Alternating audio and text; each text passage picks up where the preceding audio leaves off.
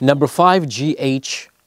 Shotton, in his word, Die Taufformel, which is the baptismal formula, wrote the comparisons of the texts of the three Gospels and the critical analysis pertaining to their ages leads us to conclude that the records about the establishment of the baptism through Jesus in the Gospel of Matthew must be in of a relatively late date. Number six, um, Holtzmann in an article on baptism in 1879 arrives at a similar conclusion. وإذ قال الله يا عيسى ابن مريم أأنت قلت للناس اتخذوني وأمي إلهين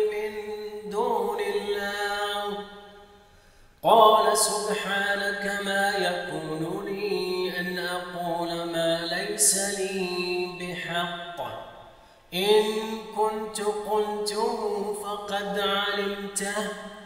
تعلم ما في نفسي ولا أعلم ما في نفسك. إنك أنت علام